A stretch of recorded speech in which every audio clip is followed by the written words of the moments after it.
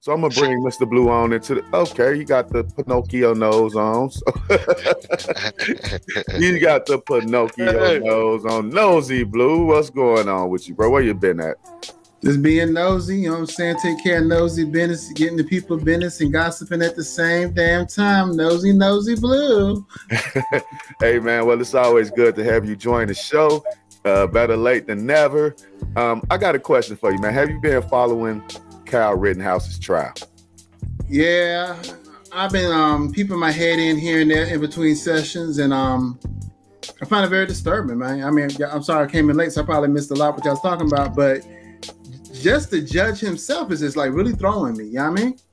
What what what how the judge how is the judge throwing you? What is the judge doing wrong in your eyes? I mean he's like he's attacking the prosecution. It's like it's almost like I don't know. You know, judges used to be lawyers, and lawyers have always been known to be dirty. I think somebody slipped him a couple hundred thousand, them good old boys, and um, he gonna make it do what it do. That boy gonna go home nice, clear, and free. No probation, no parole, none of that good stuff. And I'm not saying that he should have a harsh sentence per se. I mean, in his mind, he might have felt like he his life was in danger. He's 17. He's emotionally young. He's emotionally immature. So, you know, anybody just buck at him, he probably think his life is in danger, scared to death. Boom, boom, boom. What do you know? Most people who, I mean, you know, you and some of us used to be in gangs. Remember, some of the when we had the BGs on the front line, the BGs were scared to death, so they were automatically known to be the best shooters because that's all they could do because they were afraid to fight. The guy was crying crocodile tears, but somebody told me they didn't see a tear fall at all. Did you see any tears fall, Kalisha? I did not. It was very staged, very unnatural. It, it was not a real cry to me at all. The judge's behavior, MD, is the judge behaving properly on the bench? Uh, actually, man, it, it, it, to me it almost felt like a, a Sopranos movie scene. I mean, it, it it's very disbelievable. And my man had me cracking up in my head, man. I'm kind of on him. I definitely think it's some funny business going on. So, which judge is that? Am I thinking of the right judge, Mr. Blue? When I when I think of the, the head one, because we've got we're going through two uh, major trials right now. We're going through that one. We're going through Ahmaud Arbery. And one of those judges, you know, he's the bald headed guy, man. That nigga look racist than a motherfucker. Nah, nah, I, don't, I don't think. Nah, we talking about the different. You talking about a different judge? This judge, yeah, on it, you can just tell he's a racist. He's he's fuming on the bench. Oh you yeah, well, you, you, know that's you know which way. I mean, because he knows that it's not going the way he would like it to go. You know, evidence is evidence. He's like, damn, these boys are gonna get hanged for this fucking nigga. Hey, but uh, let me ask you this, uh, MD: Are black people outrage and the outrage over this Kyle Rittenhouse uh, trial?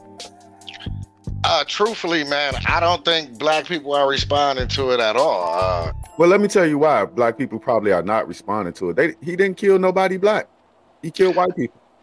I agree. We we we tend to stick to our own. As long as they not killing us, we tend to don't make a big thing about it, which is wrong in itself. I mean, killing is killing in general. You see what I'm saying?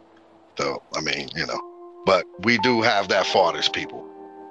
All right, Kalisha, um, are black people upset and outraged because of this trial? Um, this is the Rittenhouse judge. Is this the guy you're thinking about? Yeah, that that's the that's the racist. He looked like a racist. He's receiving death threats now, I do believe. Uh, maybe both of them are. He, he definitely looks like a stereotypical movie racist. Um, are we outraged? I think that we are in a society where we're outraged about any and everything. Like, when are we not outraged? But is it legitimate for black people to be outraged? Like, should we not care? Did he do us a favor? Um, that I can't speak on because I don't even know who his victims were. I don't know what was happening. I don't know if he killed allies of ours. I don't know if he killed people. Hey, so-called allies, the ones that come into the neighborhoods and um help burn it down, start the burning down, bring the Molotov cocktails to burn shit down. So if you want to call them allies, that's cool with me. Okay, then very much so. We probably have a reason to be upset. Which, like I said, in our community, if there's not a reason, we can create one. So there's definitely, you know, that. And um, I just want to see how this plays out because, as I said earlier, if he doesn't get any time, you know, that's going to create an outrage in the white community. If he does get time, that will potentially create an outrage in the black community because they'll feel somewhat slighted because if it was a black person, he probably would not have gotten time. So, you know, it's going to be a catch 22 either way it goes. So I'm very interested in the outcome. Mr. Blue, what do you think about that, man? Um, should we be outraged because he killed some white people? We should be outraged that anybody kill anybody. Those of us from Chicago, raise your hand. you already know. I mean, we can't talk about nobody based on what we got going on, right? Yeah. I mean, Chicago is a racist city, man. We got you know, like right now. Mob, was it that was a, the second mob home at one time? Right. Come out of there, right? Yeah. The biggest gangster that we know. Yeah, there's a, there's a few of them, you know, um, that's from Chicago, that's well-known mobsters, you know. So I say that to say this: one, I disagree with the people being allies because you know a lot of times these people come to our community to start these fiascos to put the bullseye back on our backs.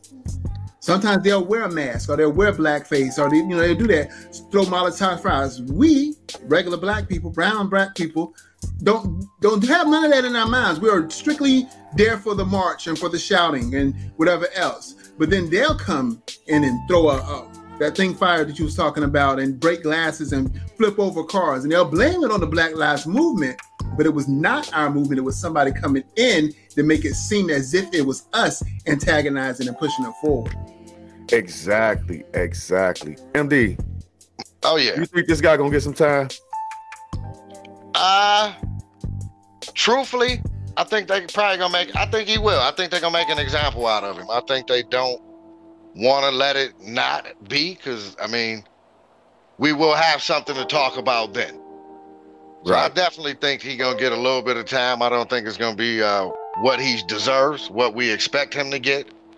Uh, but I definitely think they're gonna pop him. They're gonna they're gonna they're gonna spank him. You see what I'm saying? Right. I got one question about this whole uh, case, Kalisha. Why isn't the mother arrested when she drove her son there? He was underage. What's going on with that? Accountability is by far lacking in this country, in this world. Nobody is being held accountable for their actions. And that's why he needs to go to jail. He needs to go to jail because one, he shouldn't have been there. Two, his mama should had no business driving him over there. I don't care if she didn't know what he was doing. She knew there were guns in the car. Like, stop playing games. Like, we're, we're sick of it. We're tired. Girl, I have so much. Let me talk. Call her. Get her on the line. so we can see what her thought process was and we can have a clear understanding of why she thought that was a good idea. I well, you know, Well, watching that particular situation shows me that black mothers are not the only ones that like a crazy killer son. I mean, that's evident in single mothers. School and things. Like, I mean, who who out here killing people? These men, what what do mamas be at when the children be doing these mass shootings and kill up all these people? She knew the child had guns. She probably bought the stuff for them. So, I mean, that's idea. These people are crazy, and I don't know what the solution is.